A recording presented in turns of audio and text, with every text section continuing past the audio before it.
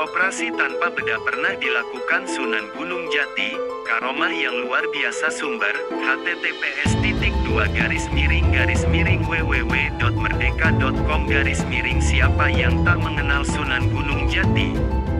Ulama dari tanah Jawa Barat ini dulunya merupakan salah satu wali yang mensyiarkan agama Islam di Pulau Jawa. Namanya kondang, terutama oleh kalangan Memiliki nama asli Syarif Hidayatullah, yang juga masih keturunan kerajaan Sunda Pajajaran dari sang ibu bernama Nyai Rara Santang, putri dari Raja Prabu Siliwangi, Sri Baduga Maharaja. Nyai Rara Santang sebelumnya menikah dengan Syarif Abdullah Undatuddin bin Ali Nurul Alam yang bergelar Amir, atau bangsawan di Mekah pada saat itu. Keduanya merupakan orang tua kandung Sunan Gunung Jati. Dari Syarif Abdullah Undatuddin bin Ali Nurul inilah, Sunan Gunung Jati memiliki nasab atau garis keturunan langsung dengan Rasulullah SAW. Kemudian, Sunan Gunung Jati dikarunian sederet keistimewaan dari Allah SWT untuk membantunya mengenalkan agama Islam. Biasanya, ia menggunakan metode dakwah dengan pendekatan sosiokultural mulai dari memakai gamelan sampai melalui kesehatan. Simak sederet keistimewaan Sunan Gunung Jati. Sunan Gunung Jati sempat belajar agama Islam di pondok pesantren milik Syekh Datuk Kahfi. Gambar, petilasan Sunan Gunung Jati, liputan 6 Ia merupakan tokoh perintis syiar Islam di wilayah Cirebon dan sekitarnya yang berpusat di Gunung Jati, Kabupaten Cirebon. Setelah lulus, pria kelahiran 1448 Masehi ini meminta izin untuk memperdalam ilmu agama ke Makkah dan Timur Tengah hingga beberapa tahun. Setelahnya, Sunan Gunung Jati kembali ke Cirebon untuk meneruskan perjuangan Syekh Datuk Kafi yang wafat. Penamaan Sunan Gunung Jati diduga kuat berasal dari penobatannya sekembali belajar dari Timur Tengah.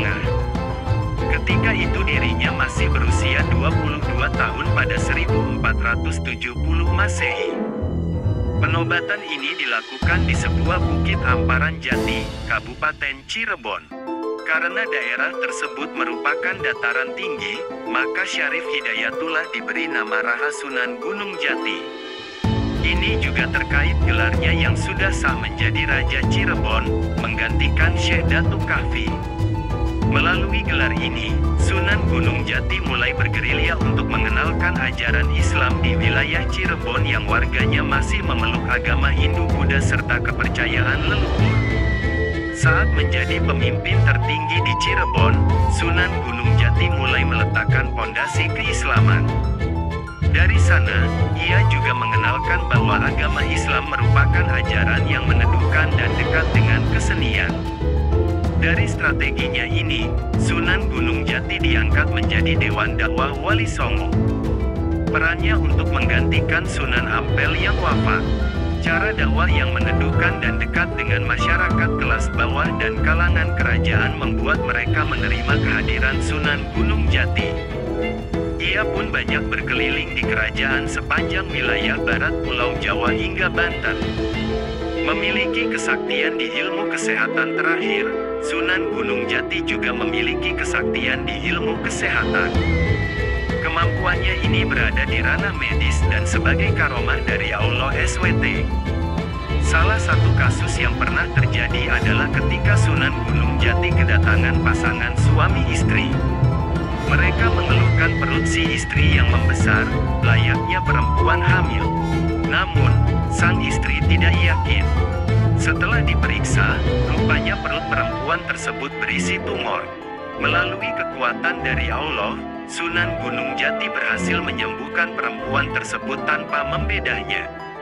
Itulah sederet keistimewaan Sunan Gunung Jati. Masih banyak kisah menarik dari sosoknya yang merupakan sosok penyebar agama Islam yang disegani kala itu.